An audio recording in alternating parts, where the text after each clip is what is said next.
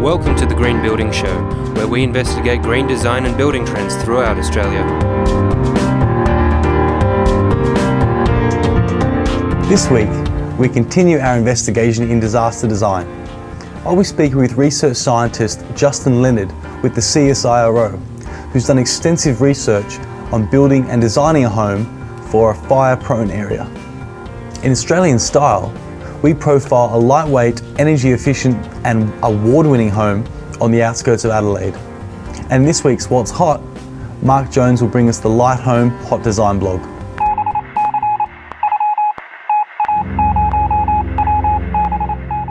Bushfires are a common threat for many Australians. This week on the Green Building Show, we'll be taking a look at the best way to design and build for a bushfire prone area.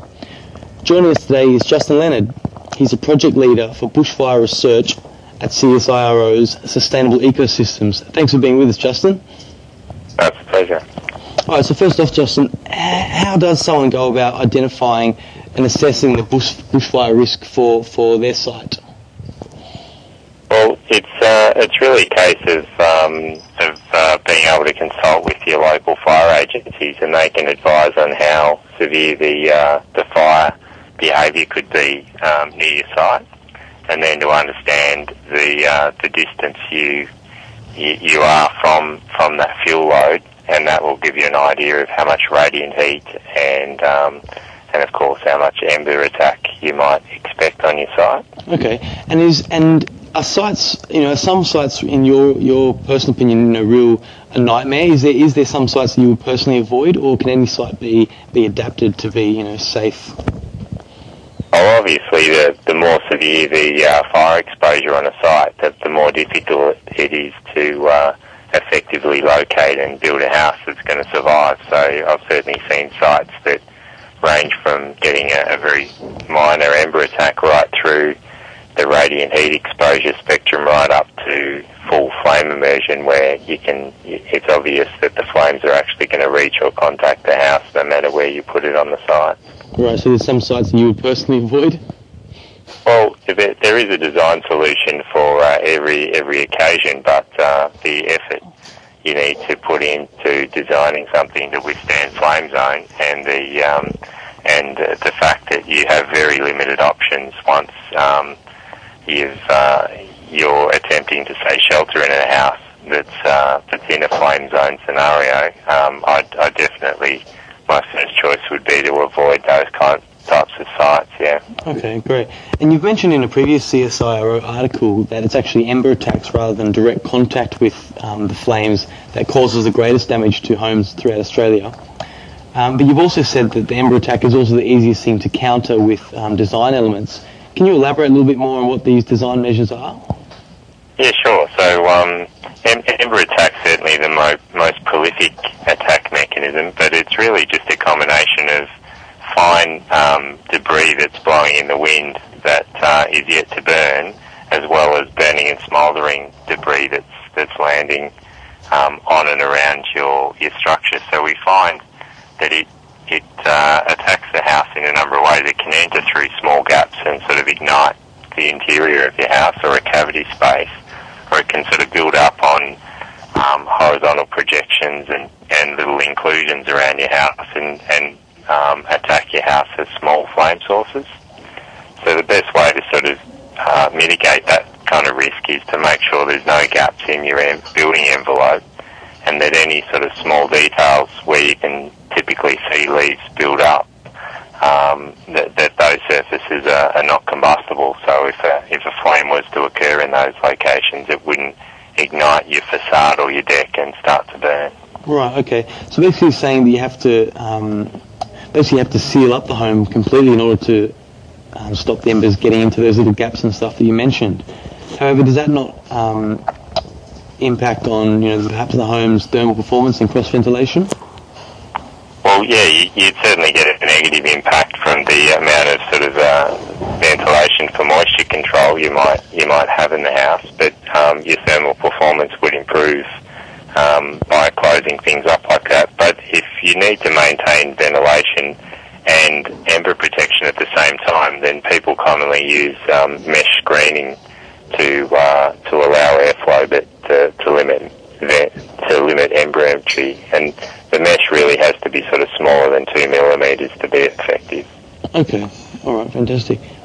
And is implementing these kind of measures going to mean an extra cost to a project's budget? Um, well, ember attack, I, I would certainly put into the to the, to the very minor sort of uh, cost impact area. And in fact, most of the things you're doing to meet uh, the thermal performance objectives of um, current star-rated homes um, tick the box also for, for Ember. So I'd say that if you're starting from scratch, you, you probably wouldn't notice the implementation of uh, Ember mitigation in your in your budget. All right, great. And in your in your opinion, Justin, what do you think are some, you know, what are a few fire protection techniques or methods that aren't that perhaps aren't commonplace in Australia or in the common Australian home, but you think should be?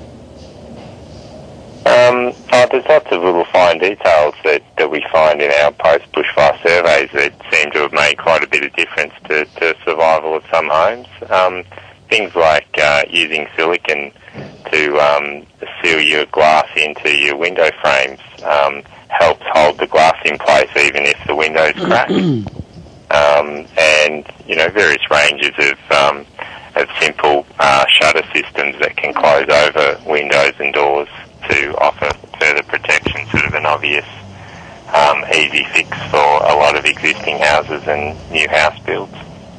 All right, great. And what's your take on, on building building standards and fire standards, Justin? Is there is there a lot of convolution throughout Australia, or is there some some pretty simple guidelines that, that um, builders can follow or homeowners can follow?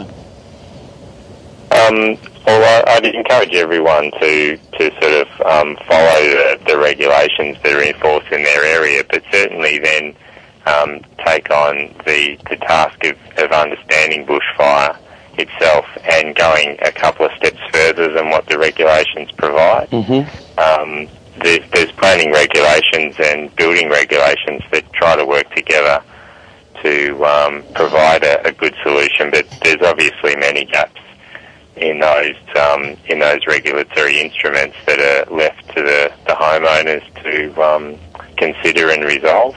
Right. So. Uh, and do these, and do these building regulations um, impact on the, on material choices? Um, they provide um, guides to which materials you should um, go for and avoid, but uh, yeah, you certainly want to think as broadly as possible when thinking about overall materials. And I'd sort of think of your whole build as a as a complete system. For instance, if you if you choose a uh, a timber framed house, um, you then need to be a bit more robust in your selection of of cladding um, to protect that timber frame. As of if you go for something like a steel framed house, you um, you don't have the problem of say internal cavity fires mm-hmm. um, um, causing issues for your structure. Justin, thank you for your time. Okay, thank you.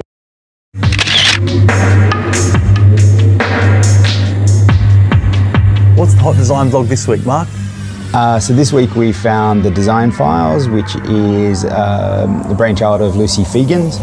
Uh, she is an ex-set designer that's turned uh, blogger, and she features on her blog um, some fantastic imagery as well as some interviews with Australia's top designers and creatives, um, featuring everything uh, from home design to interior design. Back in 2009, Lucy was featured in the UK Times uh, top 50 design blogs, um, and since then she's now receiving 120,000 uh, unique visitors per month to her website, and you can catch her website at thedesignfiles.net.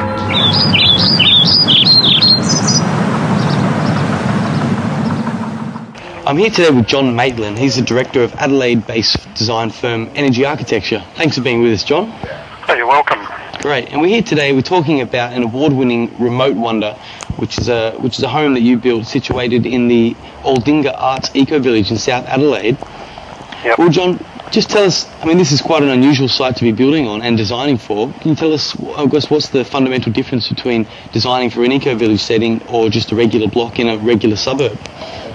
Um, well, I guess in essence there really is no difference, but the the the uh, Aldinga Arts Eco Village, like other eco villages, requires people to build in a particularly energy efficient way. So um, the point of difference for the Aldinga Arts Eco Village is the fact that there was a requirement to do that, and the requirement was established by a set of bylaws which I wrote in the process of designing and building the Eco Village uh, back in 2000 plus. Um, so all houses that are built in the village are required to be at least reasonably energy efficient to comply with the bylaws.